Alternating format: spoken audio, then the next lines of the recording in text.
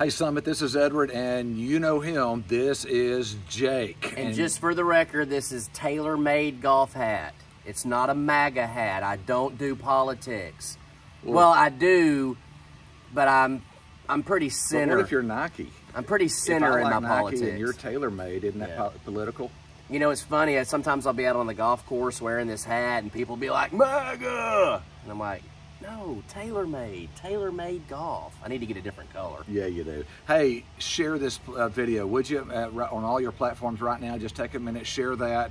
That way we can get the information out and get these updates to as many people as we possibly can.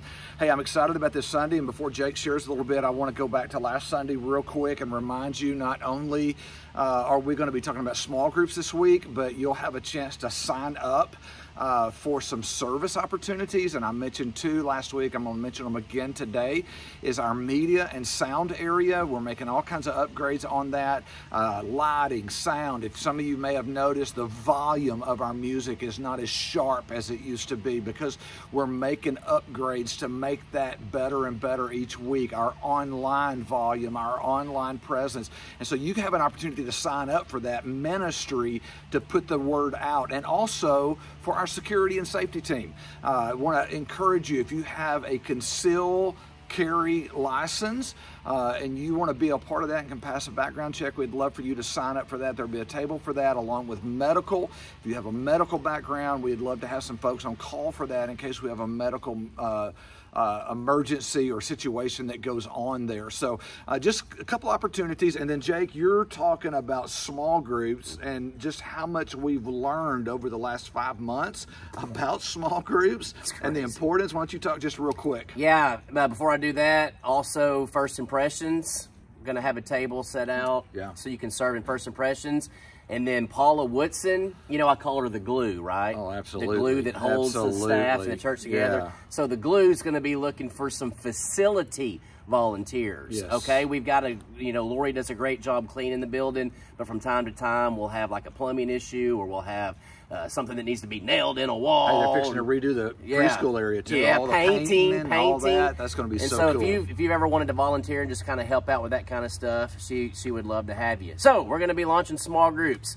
Uh, wow, what a season we're in with yeah. COVID and all that good stuff. And so. Uh, I'm excited and frustrated at the same time. You ever been excited and frustrated at the same time? I have no idea what you're talking about. So our small group ministry, we have a lot of our groups that are really healthy and they grew a lot in the spring. And so they're, they're closing and the, the reason they're doing that is because they, they're just busting out of the seams. And that's a good thing, yeah. right? That's a good thing. Those are good, healthy groups. But then the frustrated side is, is well, if those groups are closed, then we've got to have some avenues for people to connect. And so we do have some groups that are going to be open. Uh, some of these groups, be patient with us. Uh, they can only fit maybe two or three more couples. Some of the groups, like my group, man, bring it. We're, we're open. Come on. All right. And then I'm really excited about uh, Linda Villarreal. Man, she is an awesome, awesome lady. She's going to be hosting, and this is not a women's group. This is going to be open for couples and anybody. She's going to be hosting our online Zoom group, and oh, she cool. can take about 20 people uh, to yeah. make that work. And so that's going to be really cool. We've got a new women's group that's going to be started. Uh, Ashley's going to do an online Zoom women's group. And so we've got these different, Alan Sanders is going to be doing a men's 33 group for our men. And so what we're finding out is, is during the season when we can't do childcare, a lot of our women are connecting in women's groups and a lot of our men are connecting because if they have small children, they can kind of do their own thing. But if you want to do something as a couple, some of our groups are getting really creative mm -hmm. in, in, in doing some things where the children can be a part and things of that nature. And I'll share more about that Sunday. But here's what I want you to know. This Sunday, in person and online, you're going to have an opportunity to kind of peruse, you like that word, peruse, uh, peruse our groups. And if for some reason you don't find a group that you feel like you can connect in, you need to email me and I'm going to have a table set up and I'm going to have a list set up because what I'm going to do at the end of the day, if all of our groups fill up and, and there's some of you out there that haven't found a group yet, you're coming with me, man, and we're going to do something on Sundays to connect until I can build a group for you. That's pretty cool, right? I love it. You like and, it? And we're going to do re-engage again, right? Re-engage uh, is going to be the best way that's a, for that's a couples to that's connect. A marriage deal. That's, that's a, marriage deal. It's yeah. awesome. Uh, Edward and I went through it. It's yeah. great. I mean, we're not not married. together. Yeah, no, no, you no, know, no. Ashley and I. And yeah, Danielle, yeah, yeah, yeah, yeah, yeah. So, but yeah, that was close. Yeah. so anyway, uh, we're going to have all kinds of stuff. And then we still have Celebrate Recovery that meets every Thursday. You can connect there. Uh, we have grief support. Uh, we just have a lot, our prayer team. Mm-hmm. Uh, man, we've got a lot of different avenues and ways for you to connect. So join us Sunday, live in person or online. And then uh, I, I feel like next week's going to be a pretty busy week for me. I think so. You know, answering so. emails, talking to people, trying to I get everybody so. connected. I'm, I'm, praying that's the case. Yeah.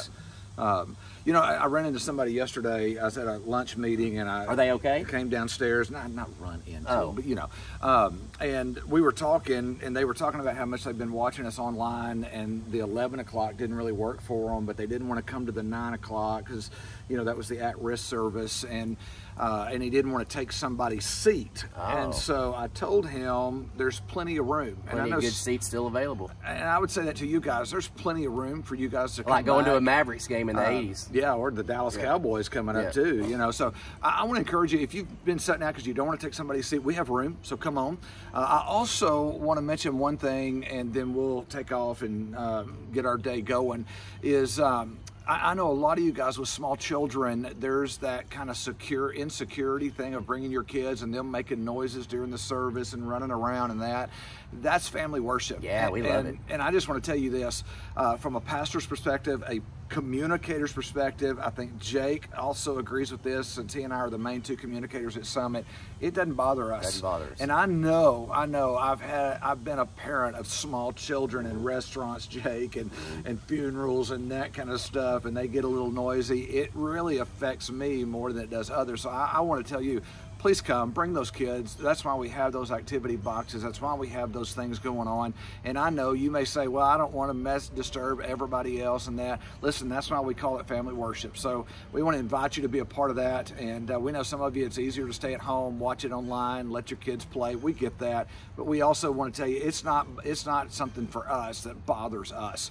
That's why we did family worship. Right. So we love you. We, um, uh, you said frustrated and excited, Jake. Um, All in the same. It, it, and I feel that tension every day. I'm frustrated and excited. Um, and I love what God's doing. I'm frustrated where we are, but I love what God's doing. But it just it is what it is right now. And so we love you. We we get where you are, um, and uh, thank you for continuing to give us grace as we lead and try to make decisions and do our best to follow CDC and all this stuff.